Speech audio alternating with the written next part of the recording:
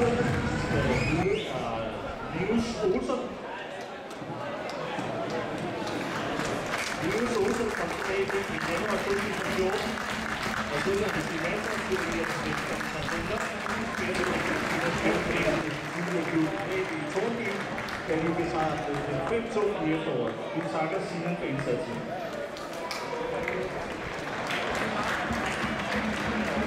Og så er det Patrick Lerager. Patrick Lerager kom tilbage i fra Hvidovre og viste hurtigt, viste hurtigt fra på højre bak. Det blev blandt andet til en kamp mod Sparta i en uh, træningslejr. Desværre løb Patrick i en skade på Vejle, hvor han brækkede to tæer. Og har det prøvet rigtig spil, og de er ude til holdet. Også for Franke er en dygtig spiller, som som mindste ud til hele dagen. Det er jo en mulighed for det.